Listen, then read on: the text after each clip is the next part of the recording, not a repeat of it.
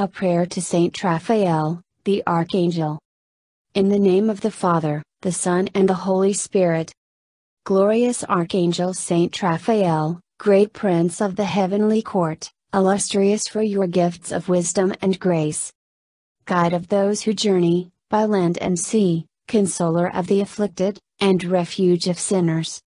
I beg you, to assist me in all my needs, and in all the sufferings of this life, as once you helped the young Tobias, on his travels. And because you are the medicine of God, I humbly pray to you, to heal the many infirmities of my soul, and all the ills which afflict my body, if it be for my greater good. I specially ask of you, the favor of, mention your request.